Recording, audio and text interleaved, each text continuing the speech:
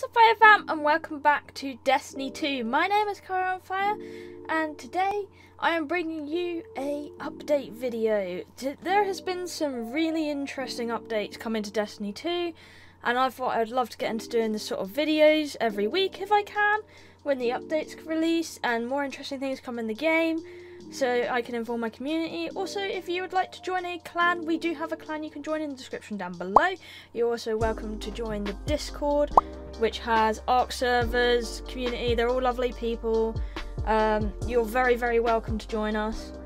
So let's get into the video. Now, before we start, I have a big announcement. If you do not already have Destiny 2, then I highly recommend pick it up now.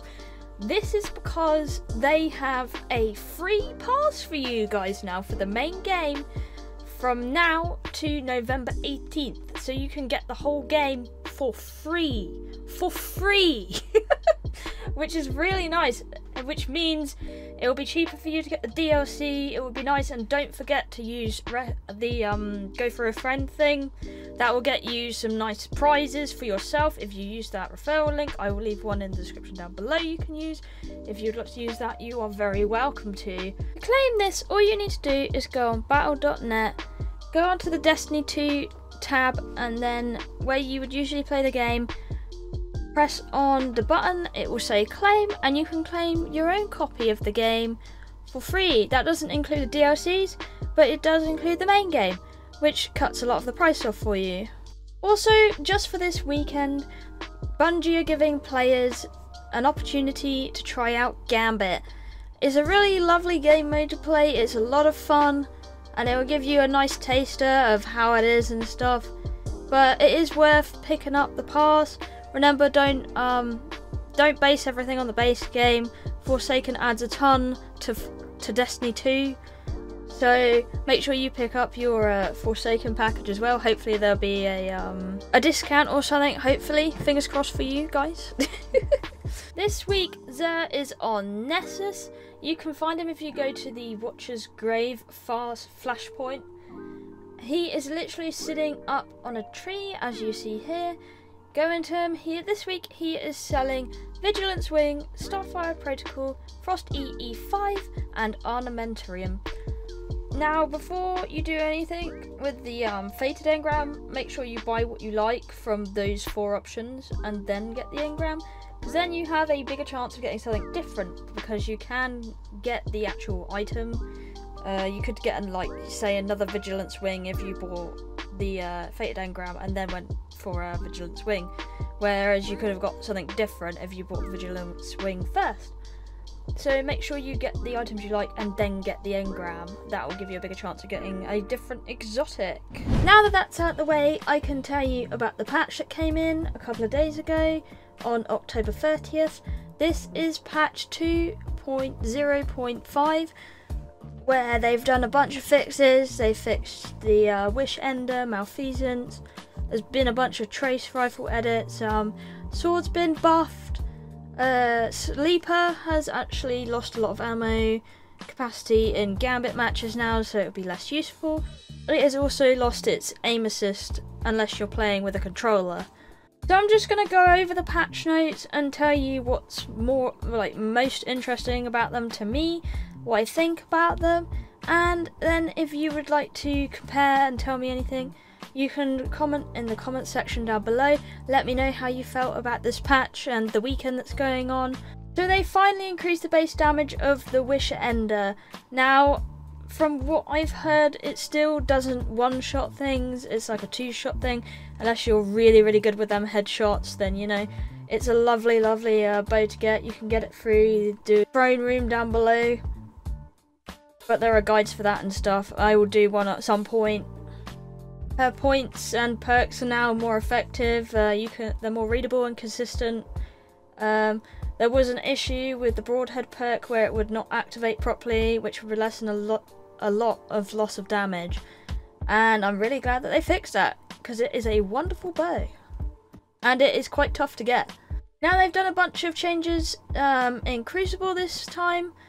Like, your tracer rifles will now spawn with 50 ammo. And several other game changes, like breakthrough mode. Uh, the, it's been decreased with the attacker respawn timer from 7 to 5 seconds after the breaker is deployed. Modified the game rules to prevent teams from forcing the round into a stalemate. In the initial fight over the breaker, the team with the most capture progress, high watermark, will win the breaker if time runs out without any breaker progress present. There will still be overtime if time runs out with progress present, and the breaker will go to the team with the current progress at the end of 30 seconds, or to the high water mark if progress reaches zero with no players on the breaker.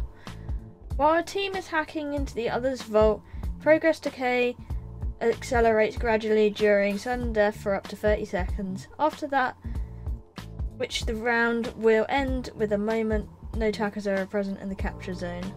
If the round ends in a draw twice, the match ends in a tie.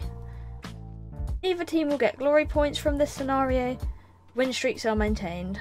Now we go over to Gambit. Like I was saying earlier with the Sleeper Simulant, it now gets, gains less ammo from the crates on the wall. It used to be 4, now it is 2, which is quite a significant drop. But yeah, you're gonna have less Sleeper and Gambit now. I've already noticed there is a lot less I'm finding. Swords now gain more ammo from heavy ammo crates on the wall. Now 12 up from 6. That is double the ammo. So maybe you'll get more use out of a sword now. I don't see it being useful within like killing other invaders, which is what you should use the heavy ammo for. But we'll see. Fixed an issue where sometimes one team's invasion portal would not open fixed an issue where sometimes the wrong team would be credited for defeating the Ascendant Primeval. That was a frustrating bug. Increase the spawn rate of the Ascendant Primeval Servitor. The Gambit, Ship and Sparrow are no longer guaranteed drops, which is fine, they're not that bad to get. Quitter Protection. Fixed an issue where matchmaking would sometimes result in a player being kicked from Gambit matches, thus triggering quitter penalties. Quitter penalties have been enabled. Yay! Although I feel with this still, I don't think their quitter, quitter protection or penalties are strong enough. Um, just being suspended for like 30 minutes, uh, yeah, no. you get a ton of people that leave in the Crucible and Gambit. I feel like there should be more of a cost for leaving. I feel like it's quite unfair on the team. A lot of the time you can salvage the match, I've had it several times. I've salvaged a match when it looks like all things are going, you know, tits up. And yeah, people just leave, and that when people leave, you have more of a significant chance of failing because you don't have a full team. I also noticed with our balancing, uh, it needs a bit of work. Um, I've been put into Crucible matches against all these low levels, and I just have a team of level 50 players. They're gonna get smited. as much fun as that is for me, I feel awful for them because, you know, it should be an equal matchmaking. Um, it shouldn't be like that because that's really unfair on like the lower players, or at least there should be like some lower players sprinkled in with the higher players, but like equal on each team. I don't know how they would work it, but I feel like some more balancing maybe needs to happen on Crucible for that sort of thing, because poor little players. They get absolutely smited. And I know it's scaled, but they, you're forgetting they have no experience. Like, most of them have bare minimum experience. So I think they need a little bit of a, you know, help me up. Also, they don't have the weapons that, like, top of the top would have. They're not going to have weapons that level 50 players have. They're going to have bog standard sort of things. So I would love to see some balancing. I don't know about you. Would you like to see some balancing in these in these game modes some more? Because I would love to. with strikes, they fish, fixed an issue where with the corrupted scenario, you could enter with like a six-player fire team. Now that was fun. I'm really sad they got rid of that. I know it's an issue, but I feel like sometimes we need to have more game modes than just um, Gambit and Crucible where we can have six players in the team. Or raids, I know you can have some in raids. But it would be nice if we had more game modes or campaigny sort of things. Maybe just like a special strike that is extra harder than Nightfall. That we could have more players.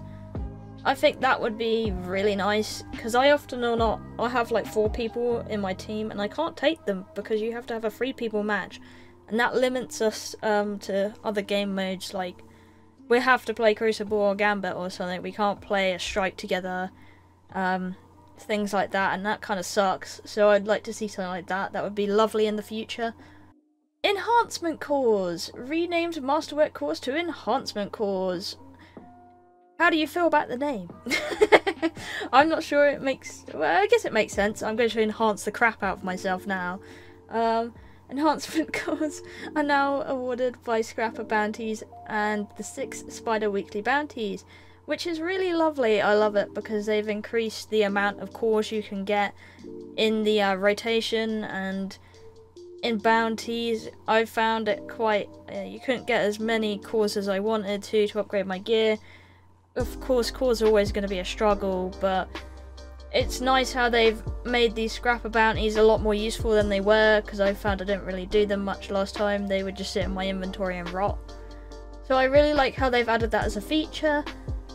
Also, with exotics, they've made a bunch of changes on it this week, including removing some out of the loot pool, which means if you already have them, you won't get them again, like Ace of Spades and uh, Wish Ender, World Line Zero, 1000 Voices, Malfeasance, Lord of Wolves, and The Chaperone.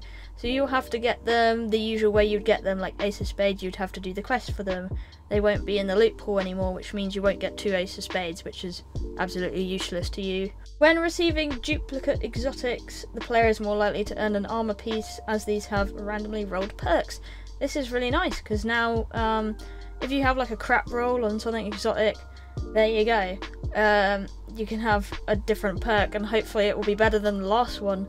Exotics that the player does not own yet are individually weighted much higher than duplicate exotics, which is another lovely buff they've put in. When the player receives an exotic, we now take into account all the exotics the player has found and weigh them against the exotics they have yet to acquire. This lowers the player's chances of receiving exotics they already own, which again, sweet. Um, I would love to get more exotics, so this is great. Uh, this is great for new players, everybody that's coming into the mix now. You get to experience this lovely uh, change here. I don't know if it will change it too much, but either or, I think exotics needed a bit of work, and they've done that, and Bungie has provided. Some nice uh, quality of life changes. Banshee 44 now accepts up to 25 gunsmith materials at a time. Oh, that's such a nice change. Before you had to spam in so many gunsmith materials at a time, you had to keep spamming that button. Now he works like normal vendors would, and it's so much better than he was before. Uh, we also have a similar sort of thing with a shader dismantle time down from 1 second to 0.25 seconds, which means you don't have to sit there for ages dismantling like 100 shaders with, uh, you know, blah, blah, blah. I know you can speak to the guy, but, you know, it's pain in the bum, isn't it? also, they have increased the stack size of ghost fragments from 10 to 20. This is lovely, because this means you can do more with the spider, uh, you can get more instead of being limited. 20 is a nice change. Because you're always going to need it for that top tier bounty he has. So you can stock up a few weeks. You don't always have to grind the spider out. So that's quite nice. But no, that is pretty much it. I have left the patch notes in the description below. Any helpful information. Also a website you can check every week to find where Xur is. Uh, it will all be there. Also the Discord if you'd like to join. Also, I now have a Patreon, so if you'd like to support me in another way, there is that. That will be down below as well. But thank you for watching. I love you, all, and I'll see you in the next episode.